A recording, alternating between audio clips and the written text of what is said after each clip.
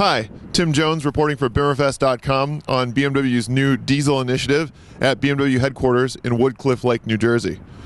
We're here with the new 328D, and we're going to go walk around and show you some of the features of this car on the exterior. Up front, it's pretty much all the same regular 3 Series, except you'll notice down here in the grills, they've enclosed a little bit of the area as the diesel doesn't need as much cooling air. You also notice that this is a standard mineral white 3 Series modern line. Around the side, the regular 3 Series lines, same mirrors, door handles, and wheels. One of the differences is inside the fuel filler cap, they've added the extra filler for the urea diesel add on system. Around the back, we have the 328D badging, and you'll notice there's only a single tailpipe instead of the dual tailpipes on the 328 gasoline engine.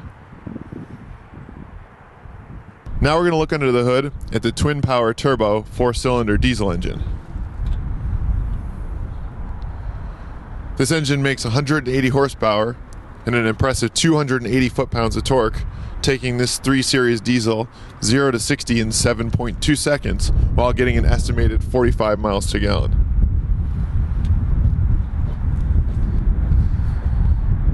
Now we're going to start the engine so you can hear what it sounds like.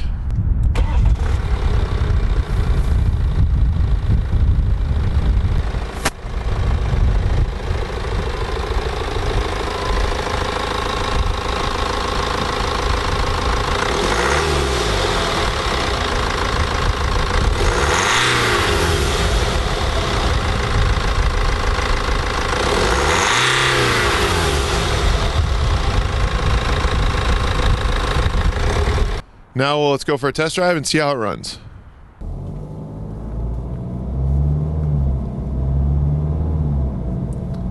Driving this car around town, it drives exactly like a gasoline 3 Series engine. It's well mannered.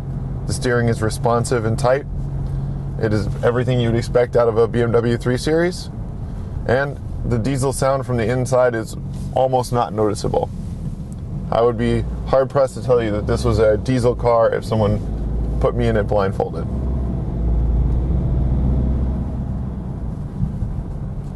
It's well mannered, and the torque from this twin power turbo engine at 280 foot pounds is actually greater than the gasoline variant, the 328i. So it actually has a little bit more get up and go right off the pedal than the gasoline version.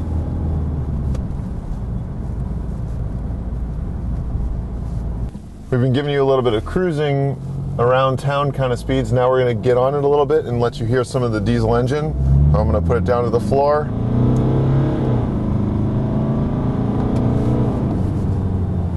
So again, that 280 foot-pounds of torque, it's not something to be underestimated. It really moves this car along. You can certainly hear the diesel engine when you really put your foot down. It has a little bit more of a rattle to it, if you will, than the gasoline engine but it's certainly nothing very offensive.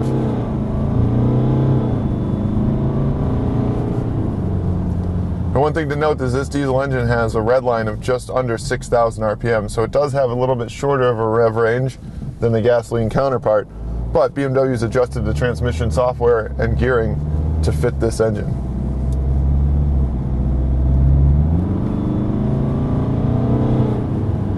It's especially strong pulling from the low 2000 RPM range, kind of at cruising along speed. When you really get on it, that initial pull right off of the off of cruising speed really gets you moving.